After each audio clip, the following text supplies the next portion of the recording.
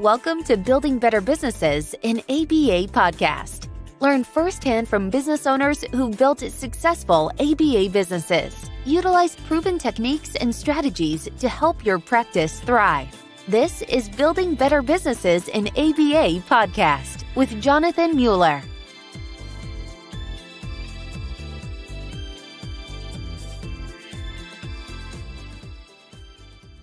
Ameley Garrido is a BCBA and the founder, CEO of Galena Autism and Behavioral Services. She's a board member of the Council of Autism Service Providers and a founder and co-host of PodCASP. Naa, welcome to the pod. Thank you, Jonathan. Good to see you. It is great to see you. And I want to start with um, can you tell me a little bit about your relationship with your brother growing up, kind of what your role was in his life and how that shaped you? Yes. So I was born and raised in Ghana, West Africa, and like many families who live in um, areas with few resources, my parents decided to go over to Europe and um, work and make a better life for all of us. So we were left in the care at that point of my aunt, who had just had a baby, my cousin, um, around the same age as my brother. My brother was six months older at that point. Um, hindsight now, I do understand that she had postpartum depression. Um, she couldn't get out of bed. She was very just on edge.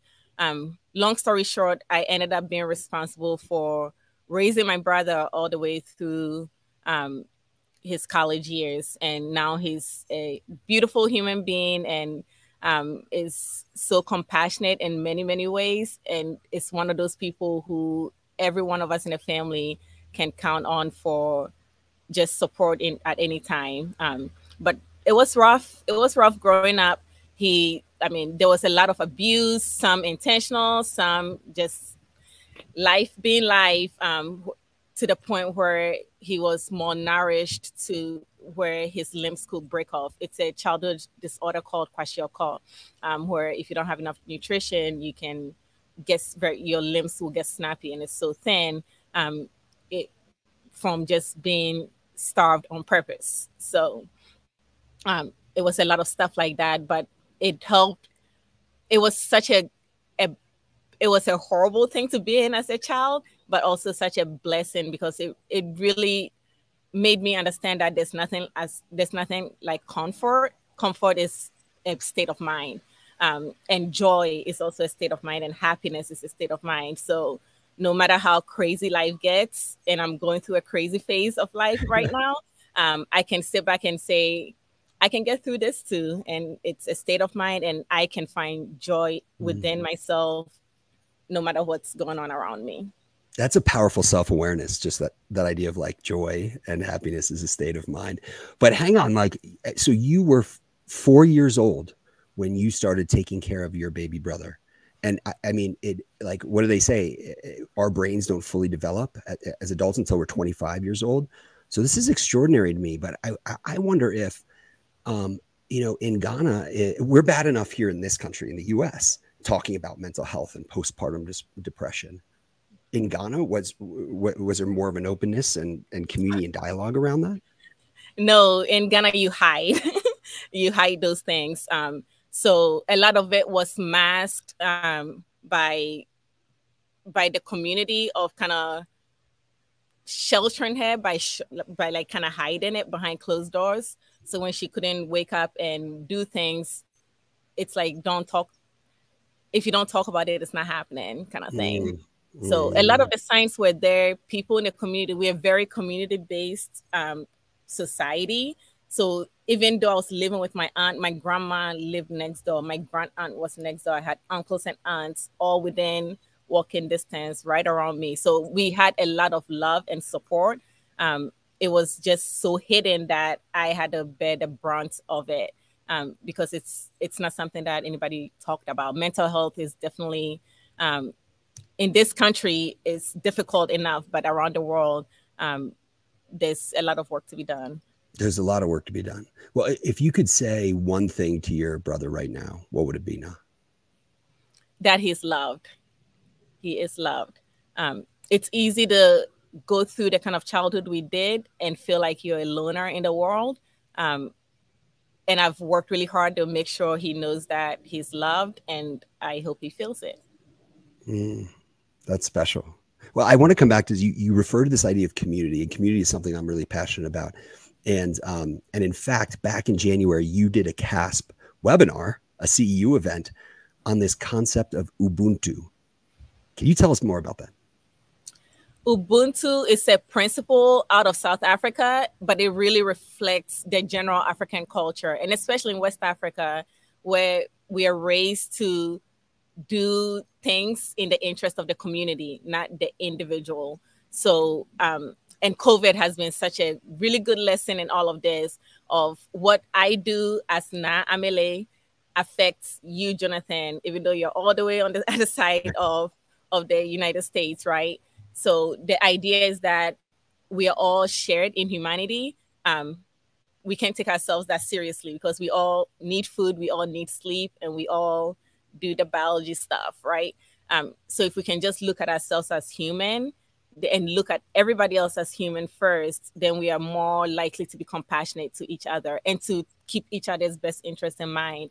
Um, the other piece of that philosophy that I love so much and that I was raised on is we all need to bring our best to the table. So my best is not just for me, my talents, my gifts, um, my wealth, I'm not wealthy, but my money, whatever it is that I have, it's not for me as an individual. It's for me to give that best to the community. So if we can all bring our best, and Jonathan, if you can bring your best, one of it being your your super radio voice, right? and all your all the cultural the company culture stuff that I've been learning from you and thank you for that. If we can all speak into the world and into each other that way, we can all be better as humanity, as a community, and as individuals. Uh, it's simple and yet powerful and effective. And you know, one so I, one question I have for you is like, is there a shared definition of community? Do you think around the world? And and, and the way I think it, like, do different countries share um, uh, uh, a common sense of what it means to be a community and what those behaviors look like? And I think back to like when I studied abroad in Beijing back in the '90s. A community uh, there there is a very palpable and different sense of obligation to society and obligation to one's family and um, and how does that manifest? You know, you might have a family where they they live in this um, you know outside this hutong, this an alley, and they, the grandparents live there, aunts and uncles, and and they will for example, keep that apartment in their area absolutely pristine, but anything just outside of it, hey, if there's trash there, that's not a big deal because it's outside of, mm-hmm. of those four walls. But I don't know, what's your sense? Is is there a shared definition of community across different cultures? That's a good question to ask. Um, I really think it, it it's different. Um, and I've come to really love the individualism in the United States and community and family being just you, your spouse, or your significant other, and if you have children, your children, right? Mm-hmm. In the United States, that seemed to be like kind of that community that speaks into everybody's life. Um, where in my culture, your community is literally the whole culture mm. because it, it's based off of your family name. So my family name, my maiden name is Tego. If you go to anywhere in Ghana and you say your last name, it immediately pins you exactly to a spot in Ghana. Mm. So if I say my name, you know I'm from Jamestown, you know who, and if I say Naa Ameley, especially, you know what my dad's name is you know where my family is, you know what our history is, and you will know that we're a family of educators and med- uh, medical people. So you, that name, because that name carries your whole identity, you then walk through the world making sure that you're doing things that brings positivity to your family and your community. Oh, that's super interesting because yeah, we we certainly don't have that in in our country, and there is this sort of like individualism above all. Um, I think we've seen some of that through through the last couple of years of COVID. Um, but and COVID, COVID has taught us such a lesson about how problematic that framework is. Mm. Because something that happened many, many months ago in a town that I'd never heard of before COVID, right, has impacted me greatly, you greatly, and every single one of us in the world very, very much, and continues to be an impact, right? I'm suffering I'm still suffering symptoms from that from that mm-hmm. impact. And yet it started in one place in one small community. Mm. And that is such a powerful visual of Ubuntu to me, of mm. how we all one thing happens and it ripples. So whatever we describe as community, we need to always keep expanding on that, right? Because it, it what I do affects my immediate family, it affects my extended family, and then it keeps going. It affects my community in Bucks County, it affects my community in PA, my, and all the different communities that I have. So I'm always I always try to think of my decisions. You know how people have what would Jesus do?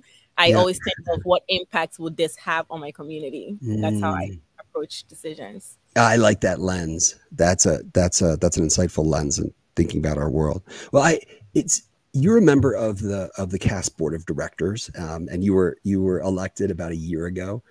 Uh, why were you interested in joining the CASP board, and and and what does wild success as a CASP board member look like to you? So CASP is one of my communities that I'm very, very proud to be of and love so much. And you share that community with me, Jonathan.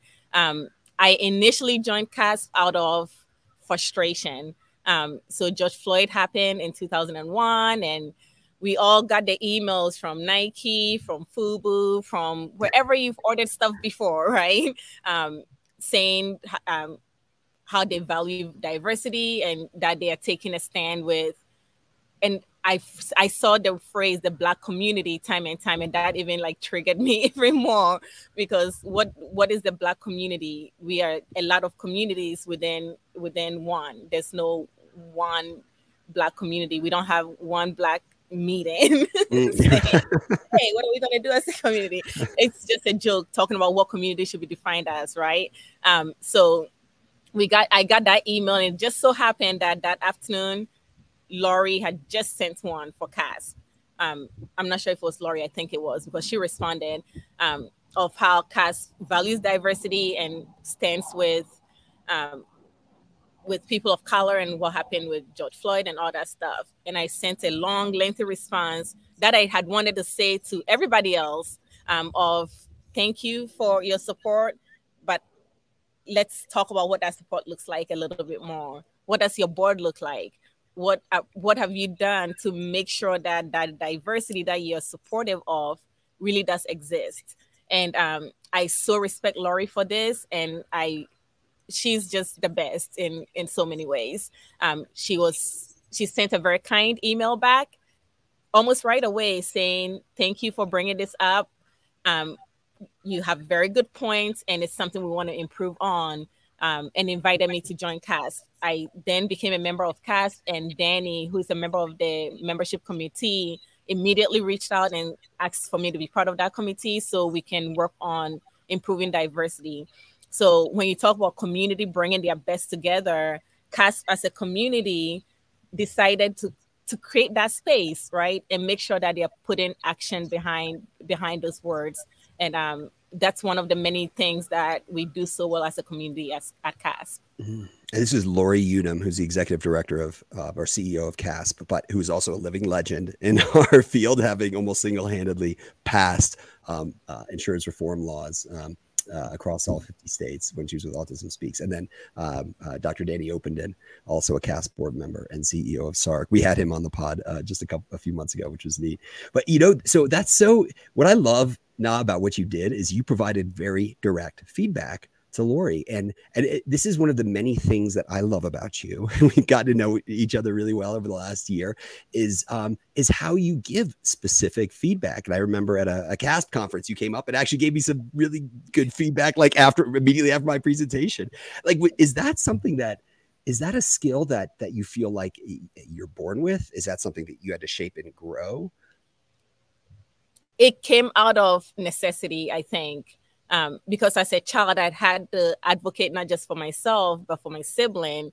And when when you've had to do that over and over you just learn to ask for exactly what you want because you might have just this much opportunity to get it in. Um, and i think it life just shaped that out of me. And i try i really really try to do things for people that i would like done to me. Um, mm-hmm. i'm a christian. I i i'm a woman of faith. That's one of my identities. And I really do believe in if we can treat everybody the way we want to be treated. Um, and I, I fail at that so many times and have to remind myself I, I think we are all better off as humans um, in that way. So I give the feedback I wish somebody would give me all the time. Mm, powerful. You know what? You know the imagery that comes to mind on this Naa is for me, it's almost like this iceberg of of you know, you've got like 90% of an iceberg is below water. And as we think about our identity and our values, that's all stuff that exists like below the water, right? Below the surface. The 10% of us that exists, like our, our behaviors and then the results of those behaviors. I mean, that's the 10% above the water. And then and then you look at social media and that's a whole different lens of like that's the you know 0.1% of what people see. And yet and people generalize from the particular, and we won't go down that like social media bashing as we could. But it's it's almost like like how do we help one another in our communities to like to see past and and try to see that humanity in others and our identity and values um because it feels like that would make for a much closer tight knit world and community if we took that time to do it why doesn't that happen and and and how do we make it happen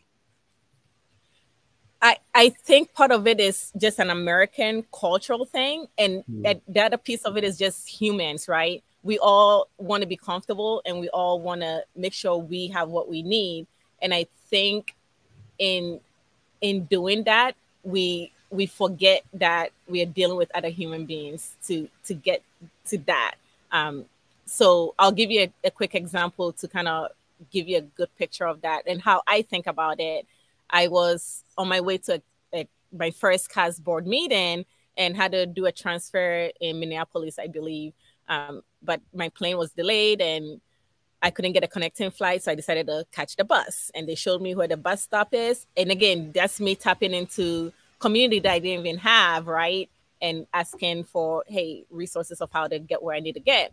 While I was waiting for the bus, I a really a gentleman who was African American or looked African American was kind of stumbling and he was he was tall and he was kind of like stumbling, looked off, headed my way. Um, I I worked in Philly and lived there for a while. So my Philly instinct was cross the street, get away from. And that's what unconsciously my brain has been wired to do. I. I grew up in Ghana and we're a majority black society. We are almost an all black society.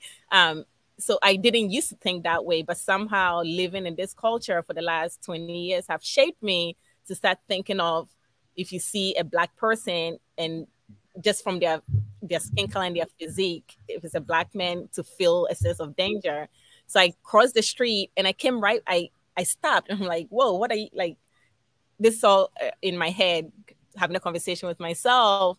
Um, I asked myself, what are you doing? Why? And then I couldn't answer the why, so I walked right back. And then, of course, making sure I'm safe. I looked around, make sure I'm in a in, in a place where if anything happens, I could get help. But I walked over, and at that point, he had gotten closer to where I was. Um, and when he went past me, I decided to do a human thing and ask, How are you? And just from asking that question, he stopped, he looked at me, and I could tell there was pain. He, he wasn't drunk, he wasn't high, he was in pain. And um, he, he told me, Oh, um, I don't know what hit me. I got my COVID vaccine yesterday and I have to work today. So he was on his way to work at the airport where I had just left and had to show up to work, couldn't take the day off because he doesn't have PTO, but was mandated to have his COVID shot. And we all had those COVID shots, and we all know how it took us out for at least 24 hours.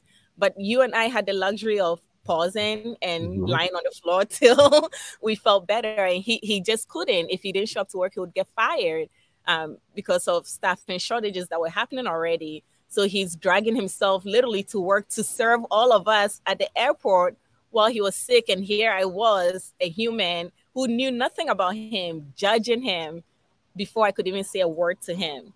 Through that interaction, he I told him, Hey, I, do you know that the COVID shots can make you feel sick? He wasn't aware. He's like, Oh, okay, that makes a lot of sense. And I told him, just hang tight, it's quick but you do need to take some medicine. Have you taken any medicine to kind of alleviate some of the symptoms? He's like, oh no, he was like just so frazzled by his pain, he couldn't think straight. So I had Tylenol in my in my bag and asked him, "Would you like some Tylenol?" And he said, "Oh, I really appreciate it." I offered him some, and he and I wished him the best, and he went on his way. All that took from me was literally a minute or two out of my day that I was waiting anyway. It it it costs me literally nothing to be human to another human being. And that whole situation could have been different if i followed my initial bias right? To just cross the street. So to get back to circle back to your question i really think if we can all just stop and every time we have that uncomfortable feeling um, we both love Brené Brown so you can relate to this to um, to just be vulnerable and be okay with being uncomfortable and live in that and sit in that uncomfortableness and work through it instead of reacting right away from that, I think we'll all be better off. Mm. It costs me literally nothing to be a human being. That is so true and so powerful. And you know, I, I, I heard two really many amazing things about what you described in that story. But one is you stopped and you took the time to just ask the question, How are you? So basic. How are you? And two, you genuinely listen right? You you like listened for intent and and what his feedback was. And you're a human being. Fuck now that's so like powerful. I'm like i this is um how do we build those skills if we're not used to pausing to ask the question and to listen with intent? Like how do we build those skills in ourselves?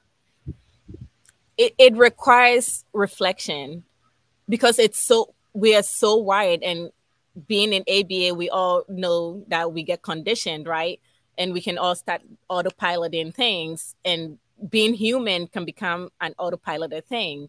And our biases that are built in systemically can then just start directing us in ways that we don't realize um, what the impacts are. So I really think the easiest way for me that I that helped me work on this was to recognize when I start feeling like mm, I'm not too sure about this person.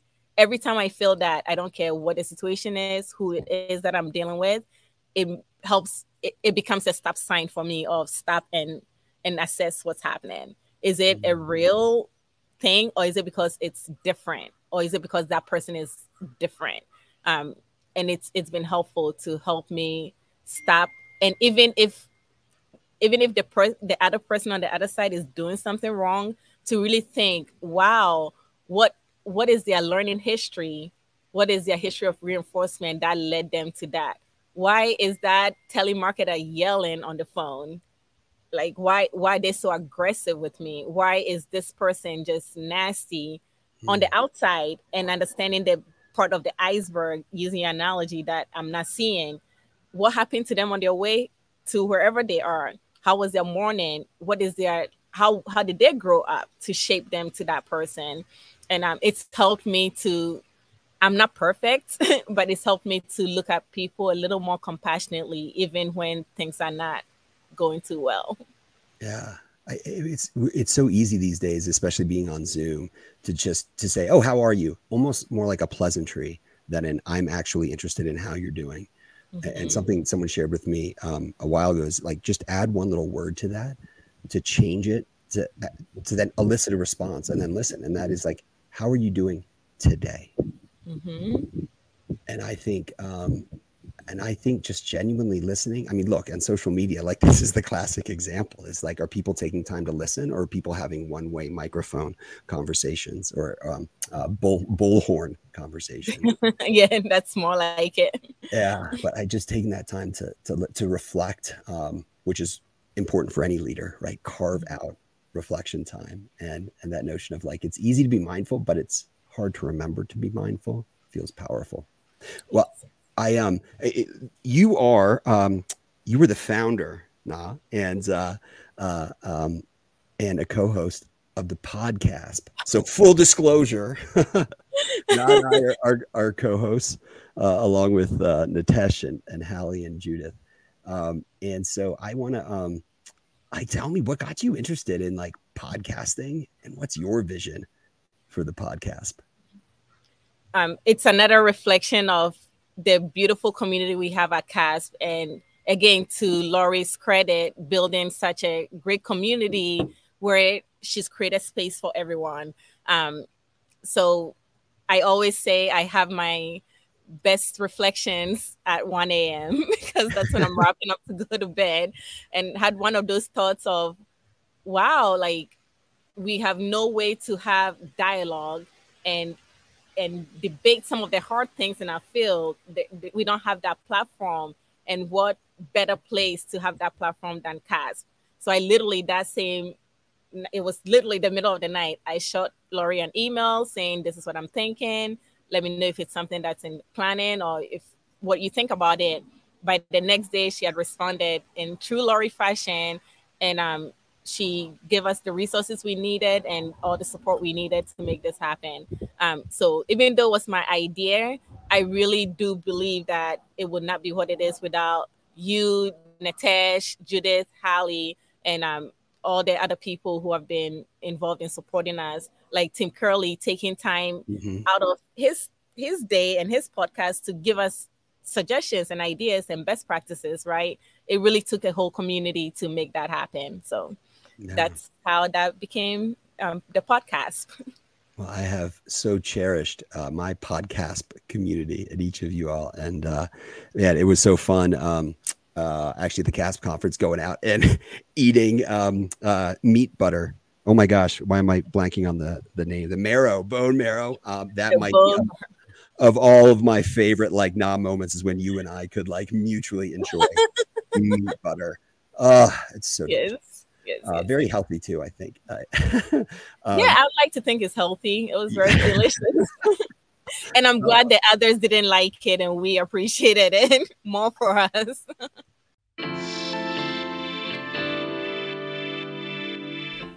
ABA practice owners, are billing and insurance issues getting you down?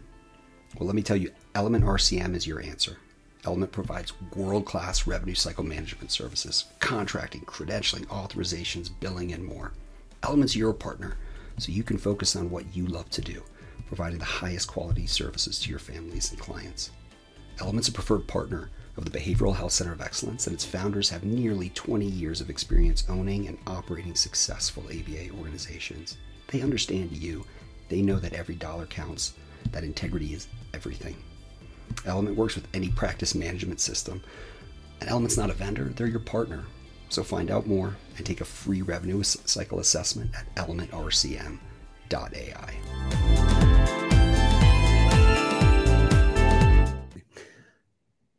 So, in addition to being a CASP board member and the founder of the podcast, you're the CEO of Galena Autism and Behavioral Services, GABS. So, tell me more about GABS and and honestly, like, how do you freaking find time to do all of this and be a mom? um, yeah, uh, my my kids make life so full that it frees me up to do other things because they just they fill my bucket so much i have to share it. Um, i have three amazing kids.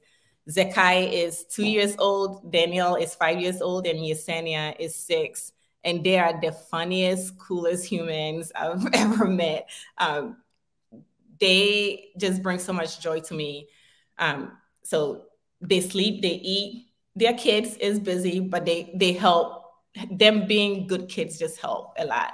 Um, I found GABS in 2012 out of a need. It was not a choice. It wasn't something I set out to do. Um, to to answer the question about GABS, let me just track into how I got into the field of ABA. I was driving and praying for what to do next. Um, before I got into ABA, I was doing drug and alcohol therapy working with inmates um, to complete drug a drug program to then get released on parole. Um, I knew I was missing the mark. I knew that wasn't quite where I needed to be. Um, and I saw a sign for the university, walked in the door, asked what programs you had, and they're like, oh, we have a new program. It's called ABA. Like, that sounds just right. and that's how I got into ABA. Um, through, through my work with ABA, um, at that point, I lived in Philadelphia, which is an hour away from where I live mm-hmm. now, but we still came here for church in Bucks in Doylestown area in Bucks County. Um, so then my cousin will call and say, "Hey, like this this friend's daughter is not getting out of bed for school. Can you help them? This friend's daughter cannot sleep. Can you help them? And then at church, the past I overheard the pastor's wife saying, um, it, her daughter was 18 months at that point and she never slept through the night one day in 18 months. So they've never taken a vacation. And I just couldn't help but say, um, can I help? like, can I help you? And she's like, uh, of course, like, of course, I'll take that help. I talked her through some of the stuff she's doing and give her just a few suggestions and some books to, um, and some just fam um, parent resources to look at and mm-hmm. made it clear that I've not explored any of that. But when it comes to ABA, here are some things she can try. She tried it, it worked in three days, and she started preaching that to all the other moms in church. Before I knew it, I was getting call after call after call. Oh, now my kid is not eating, my kid is not sleeping, and um, pretty much drove me into starting my own my own ABA business um, through my work with GABS, and that's how GABS, Galena Autism and Behavioral Services, was founded. Through my work with GABS in the last year, I was consulting in schools a lot and helping really create programs to keep kids included mm. in school before it became a big problem for them to get sent out of district. Um, and I found that I'm effective and successful. And then when I trained everybody and phase out, as with human nature, people go back to to their old ways, right? Because everything is fixed. So mm. let's go back to what wasn't working that then reinforces the problem again. Um, and found that that wasn't an effective way to help kids. So I um, I started GABS Academy, which is my private ABA school um, licensed by the state of PA. Um, so GABS Academy serves as an out, out of district placement for mm. kids in Central Bucks School Districts and the surrounding school districts. And um, up until last year, most kids had to be bused 30 minutes plus outside of my community to get access to out of district placement. So I'm really excited and proud of the work we do. And um, my I'm so passionate about making sure that what we're doing meets the need of our community and not just something we are doing. Wow. It, it reminds me of the old adage, you know, when starting a new business, just serve that first customer extraordinarily well. They're going to tell others, then bring on the next your next client or customer serve them extraordinarily well and just keep going. Well you're also like you were i mean you didn't set out to be a business owner. You set out right? You, set out to like help a mom and this kiddo who hadn't been sleeping. And it reminds me of uh, the book e, the e myth revisited the entrepreneurial myth. Uh, i think it's by michael gerber but it's this idea that we, we have this myth in our country that every like we're a country of entrepreneurs. And it's actually no that's not right at all we are a country of behavior analysts who have this calling to start a business or hairdressers, right? Who are amazing hairdressers and they're going to start um, a, a, business. And, um, and it, it, just sort of reminds you that story and the importance. I think the spoiler alert from the E Myth Revisited is like your your organization, your business is as only as good as the systems and processes mm-hmm. um, and the culture that you put in place that allows it to live beyond just you as a person. But that's not something that's taught in schools. Absolutely not. yeah. yeah. I definitely didn't set up set out to be an entrepreneur. Um, I had family members. My aunt is a pediatrician. She had her own clinics, and um, I've had other fam- like my dad had a printing press at some point in Ghana. So it was kind of in my blood, but I'd never been exposed to it growing mm. up. So it wasn't anything that I set out to do, but I'm really happy and and thankful for the opportunity to to serve in that way. Right, to serve. That's why you're a servant leader at heart. I love that. Naa. Well, I remember you telling me at one point about very early on in your uh, career in, in in behavioral health, you worked with um, gentlemen in prison who would run, um, you know, who would run these huge. Uh, how do I drug cartels. I don't know the right word, but can you tell like tell that story? Um, so yeah, that was part of my drug and alcohol therapy um, history before I got into ABA, and I bring a lot of those val- like a lot of the lessons I learned there with me because it really helps me think through when I'm working with that three, four, five year old. what are the things they need throughout life that mm. for early. Um, so very quick story to kind of give you an insight into into that part of of my history. I was working in drug and alcohol therapy. It's a program that they had.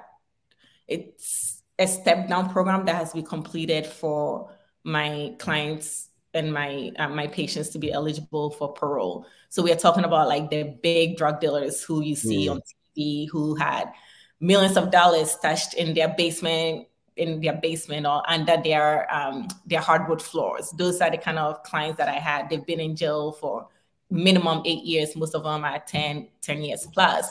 Um, so I had, I usually will, I love baking. Um, when I used to have a lot of time, I baked more. But even now, I still I love baking with my kids now more. But I love I would always bake cookies, cakes, little things, and and bring to work with me. So for birthdays, for each of my clients' birthdays, I'll always bake like cupcakes and like a small cake for to celebrate.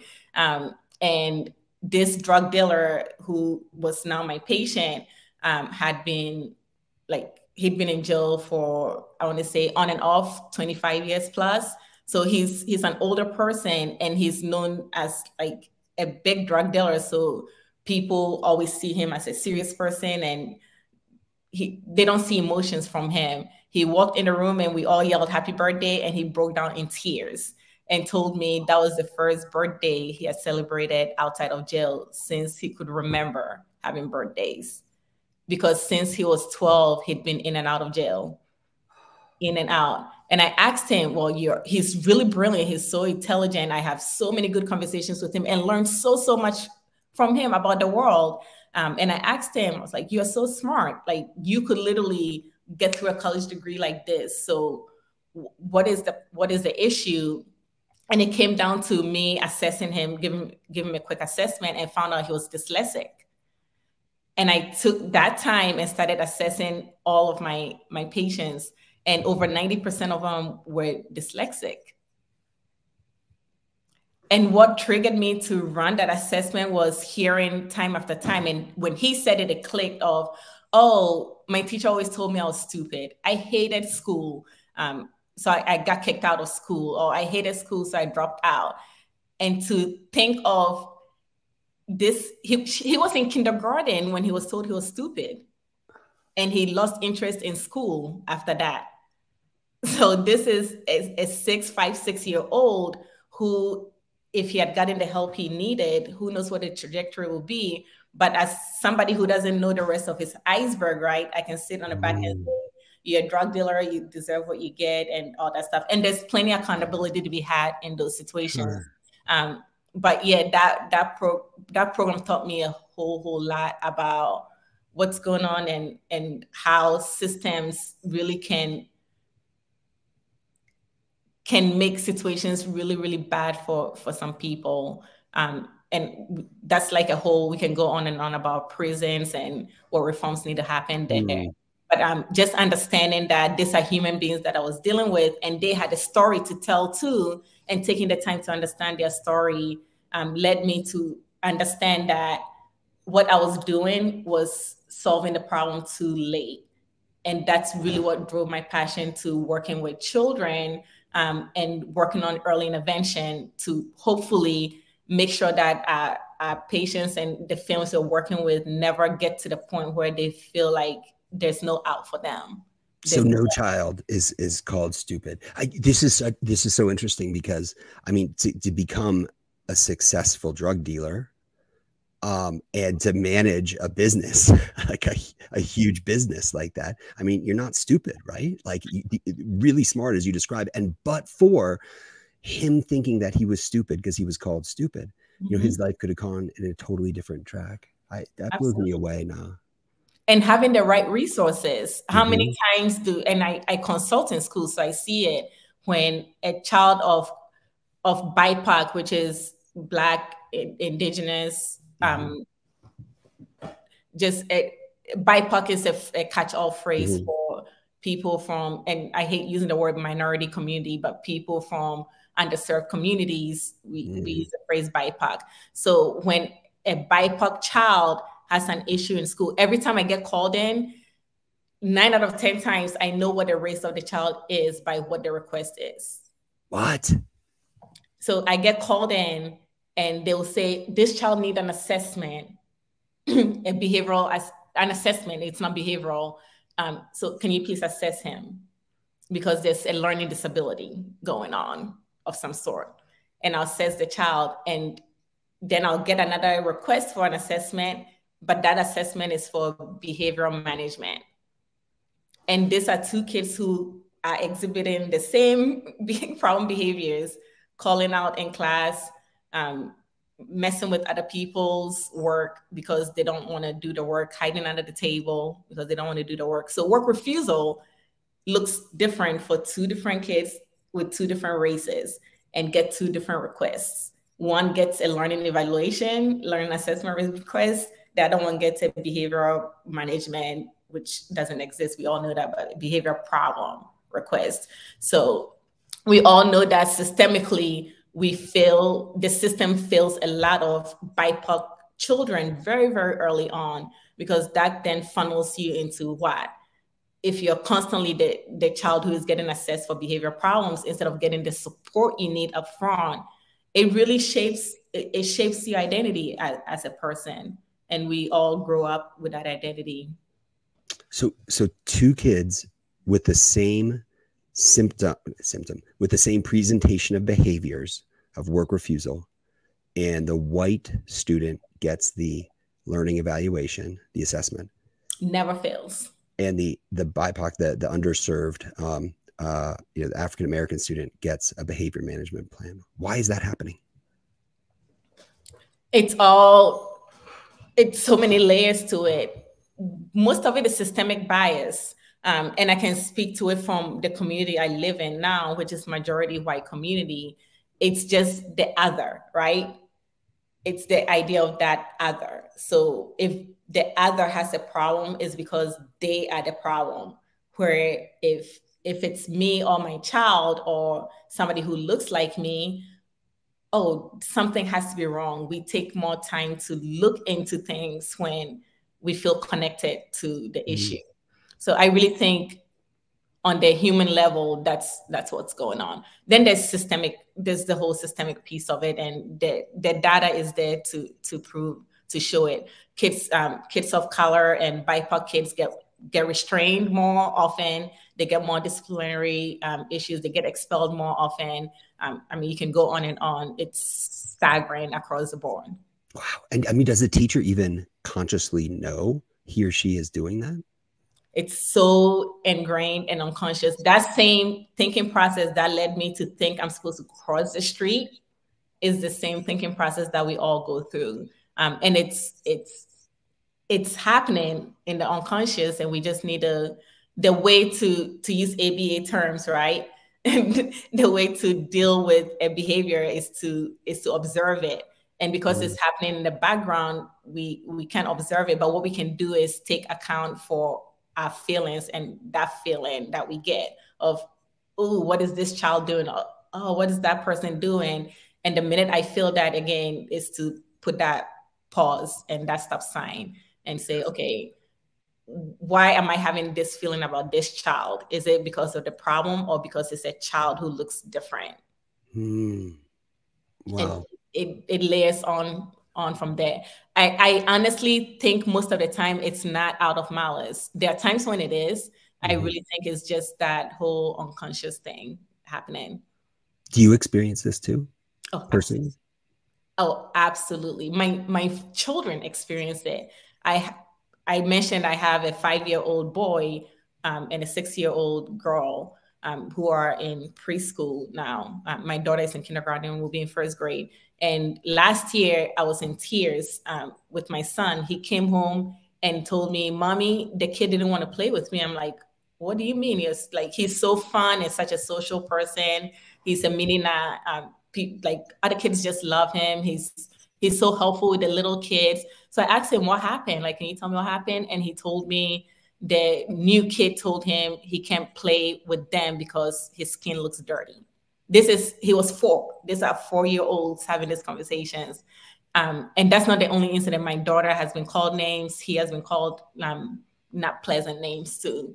And this is all little, little four, five year olds, six year olds we're talking about. So when I say this is a systemic issue, it, and I know this is not even isolated to me. I have friends and um, and other colleagues who who share stories with me. Um, so ra- the racism and the racial bias piece it, it exists. It's not just a, um, a, news clip or something that's happening in the news. I I live it. I have parents who would refuse to to literally speak to me initially because of my skin color till they realize I'm the one who has to help them with the IEP meeting. Wow. Yeah. You know, it's that um oh gosh, I forget the author's name, but that book, um, How to Be an Anti-Racist, um, that I only read after George Floyd. And um, it was um, what was so eye-opening for me on that is that it's not it's not good enough for me just to be um, you know say, hey, I'm I'm not a racist. There, there's there's a level of being an anti-racist because otherwise, like my experience, I will never see like the things that you are seeing that happen to your mm-hmm. kiddos. Absolutely. And I so appreciate you saying that um, just accepting that things are going wrong is not good enough um, until we can all, again, bring our best to this issue and bring our best to, especially when it comes to diversity and um, mm. equity and inclusion and justice. It's not a black or white issue, it's a humanity issue if we don't if we don't find solutions to that and i know that there's so many people the color of autism and you can go on and on mm-hmm. right mm-hmm. at this issue it's not a black like i said it's not a black or white thing. It's a systemic thing that will continue to affect and plague all of us till we all deal with it. Um, look at look at our field in aba right? I mean i don't have to say the numbers. Diversity is beyond lacking you look at the RBT level, we've made a lot of improvements in the last 2 mm-hmm. years. Mm-hmm. those improvements like stops there. You look at how many BCBAs, um, I believe it's under 15% of BCBAs who identify as other races other than white. Um, and then you go to the C suite and it's even more dire. We're not even collecting data on that to know what it looks like. Um, but how does that affect us as a community? How how can you how can we serve children who who are not white when we don't have that cultural piece to it? Mm-hmm. white I, we i mean look at the prevalence and the rate of autism. Is it really only happening to white boys? No it's happening to children across the board. Mm-hmm. what powerful value can we bring if we can have me walk into a ghanaian home? Or even if it's a, a home of of another race and culture, I've found a lot, a lot of impact and success with my um, my families from who are Asian and from India. Um, because I can relate to them culturally. There's some cultural pieces that are related, and mm. I had to educate my staff on, hey, uh, when mom is not speaking, it's not because mom is not intelligent. No, no, no, no. She's actually more educated than dad, and she's a doctor, by the way. my staff asked me, why does mom not say anything? Does she not speak English? Or like is is something wrong with her? I'm like, oh no, there's nothing wrong. She's very articulate. She can speak English very, very well. She's not speaking because in her culture, the dad speaks for the family. And they're like, oh, well, that's not right. I'm like, that is right for them because that's their culture and that's their family. But how can we speak to all these little nuances that do affect treatment and affect outcomes because we are not good they were not engaging mom at all because they thought mom could not speak for herself. Wow. When it's just a cultural piece that we don't understand. It is. That, that's I, that's so hard to hear. And and i think if there's anything that gives me hope about this is that generally people are not of malice. I mean yes there are spiteful people out there but people just need to learn. They just need to be educated and i appreciate that that's part of what um, like a huge part of what you brought to that interaction to help your team understand that cultural difference and i mean we can go this this whole diversity diversity issue it's it's so important um, because i've had i've had a staff tell me oh these kids are um, are being abused. And I asked, what does abuse mean? Of course, we need to take it seriously. And then she she says, well, their fridge looks empty. And mm. and their house looks dirty. So I I did, and this is a family I assessed myself. So I went back with the staff and I said, okay, yeah, the house is a mess because mom has three boys who are all under the age of four, and dad works long hours to support the family and the fridge is empty. There's nothing happening. I literally observed dad making chicken fingers from scratch. like there, I rarely get to do that most days, right? These are not kids that are abused. They just don't have a lot. So their fridge is empty because dad had to downsize his business because it was failing. And they can't afford to stock up their fridge. And mom is can't afford a, a housekeeper to help her keep her house clean. So I asked the staff, now how can we support this family? And she said, well, we can help teach the kids how to help around. And I said, well, now we are being helpful people to this family. We're actually bringing hope to them, mm. judging them because they don't fit what we grew up like that box, right? And that other, it keeps coming up with the other thing. Um, so I was able to hire a cleaning company and the parents didn't know I was paying for it myself. And we got the house clean to help mom reset. And then my team worked with the kids on creating bins for their toys. And um, is is it a perfect situation? No, but that's that's what that family's reality is.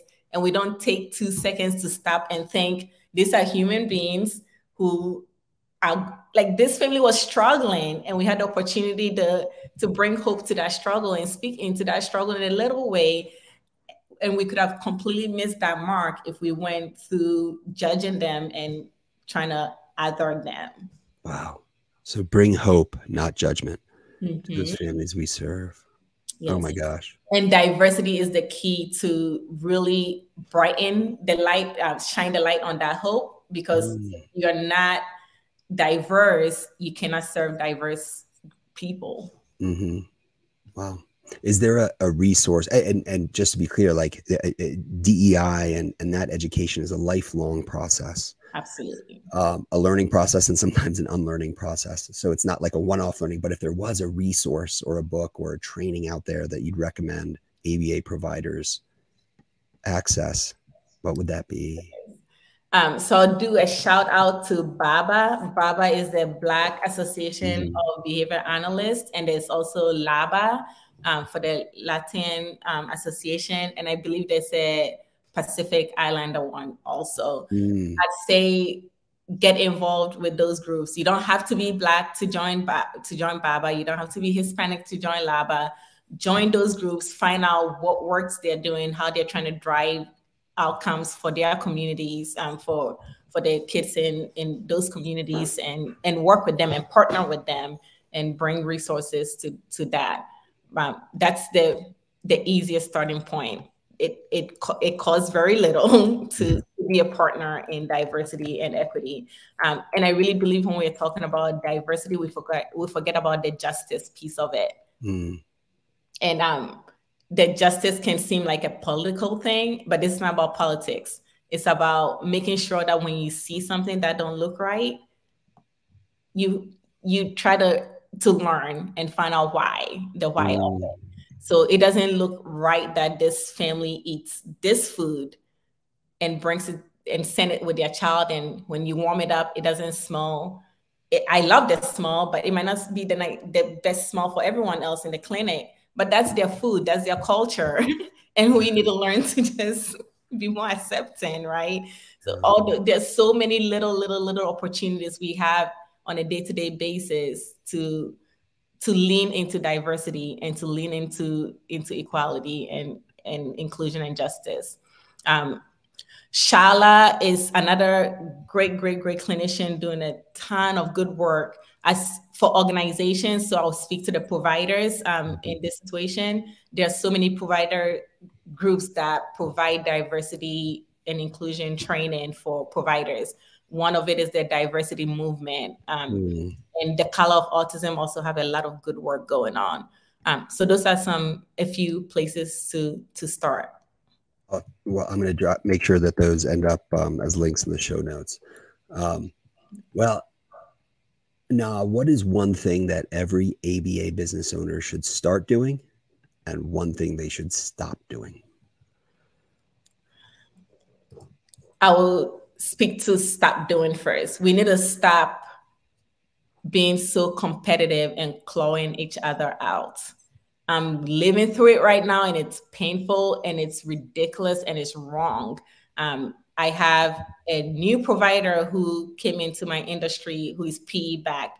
Um, there is there's so much value to PE firms and PE money in our industry, but but but because there are so many real guards in place, it's easy to abuse to abuse things, right? Um, so I have this provider moved in and have poached all of my staff except for one.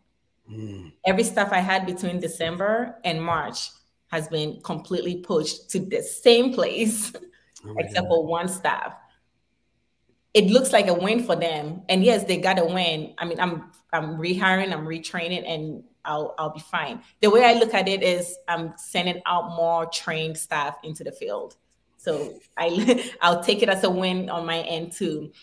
But the effect of that is families that I had to put back on wait lists because I didn't mm. have the staff to replace them because we're going through a workforce crisis right now.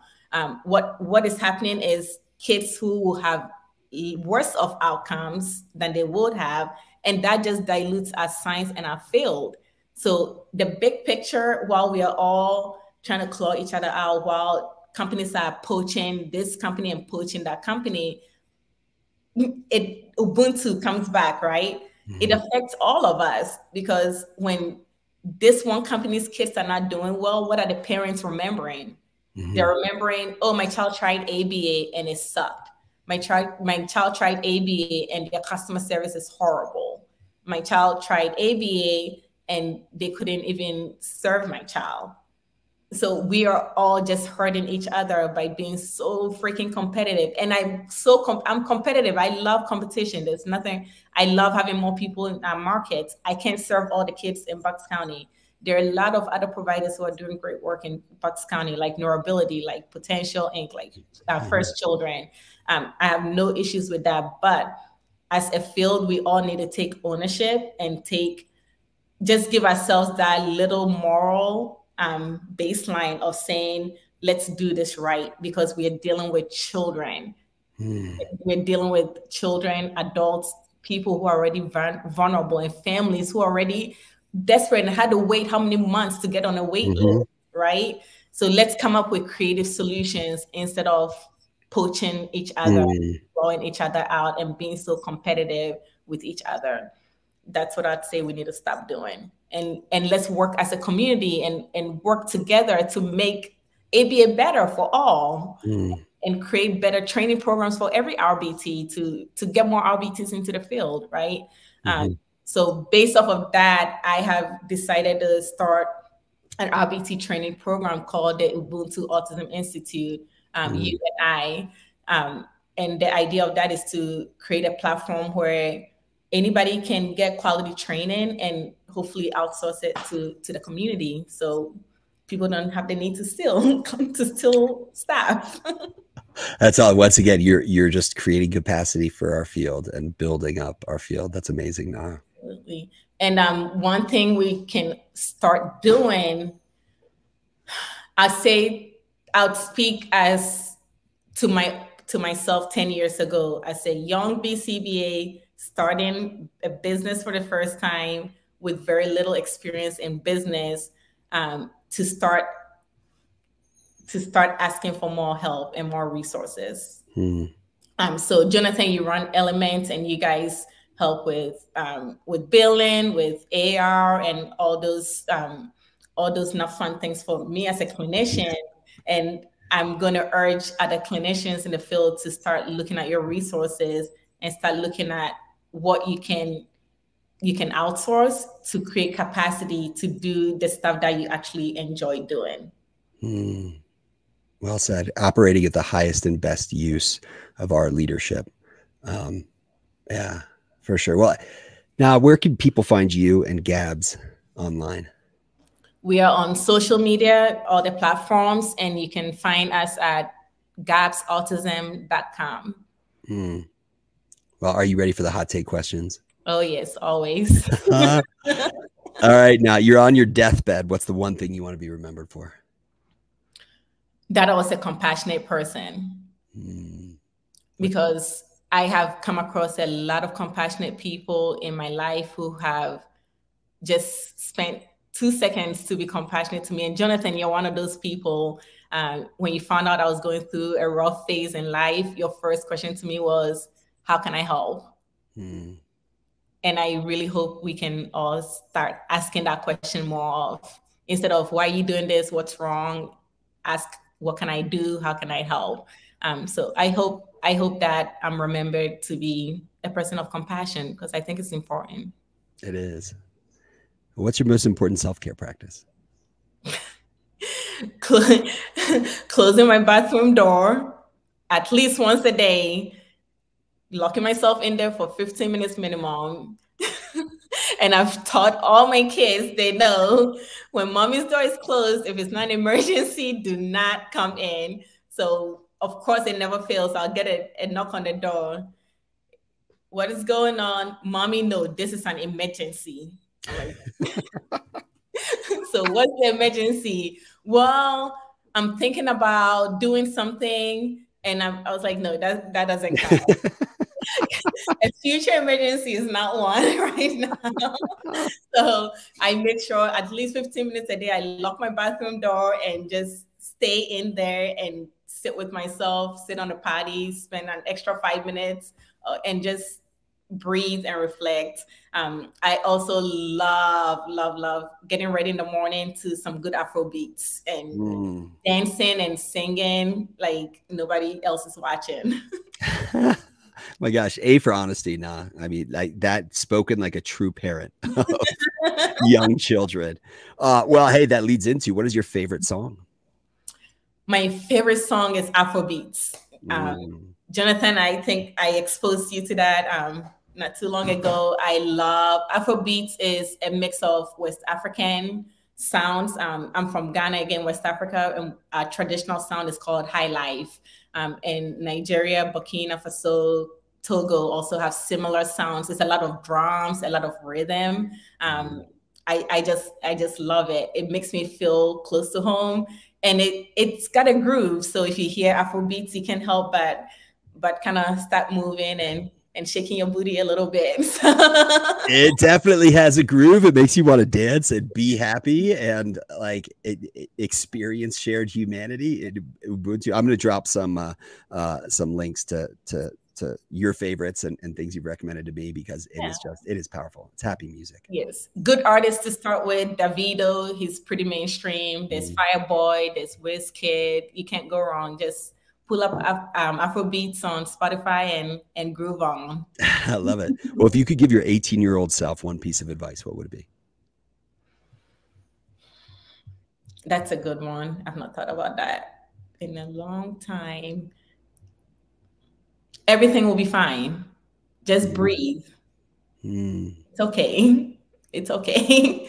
Everything always it, it, and do you know what? The things that don't work out the way i wanted to are actually the best. Mm-hmm. and and to sit and and being uncomfortable it's okay to be uncomfortable. Um i'm human. We are all human. And when things are uncomfortable we are quick to try and fix it.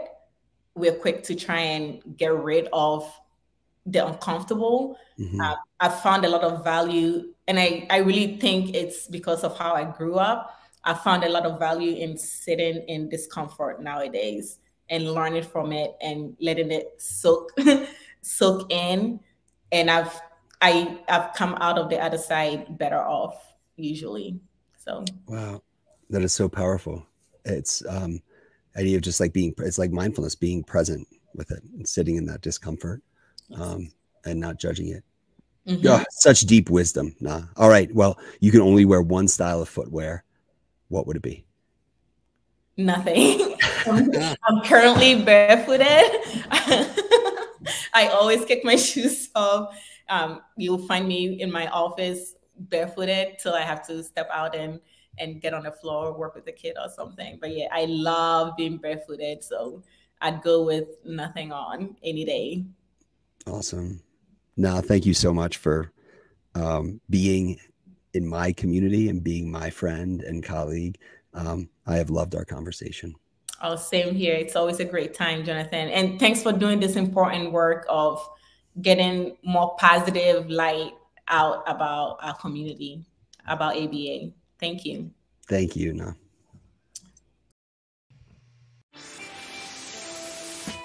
Thanks for listening to Building Better Businesses in ABA podcast. Stay tuned for our next exciting episode.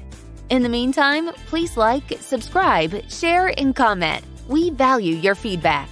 Don't forget to follow us on social media at elementrcm.ai.